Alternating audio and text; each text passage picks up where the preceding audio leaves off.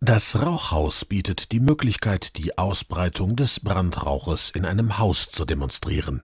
Das ursächliche Feuer in der Küche ist in der Anfangsphase des Brandes auf den Raum beschränkt. Der Rauch allerdings breitet sich rasend schnell im gesamten Haus aus. Gut zu erkennen ist, dass zunächst der gesamte Treppenraum verraucht. Hier ist keine Orientierung mehr möglich und nur wenige Atemzüge führen zur Bewusstlosigkeit und später zum Tod. Innerhalb weniger Sekunden breitet sich der Rauch im gesamten Haus aus.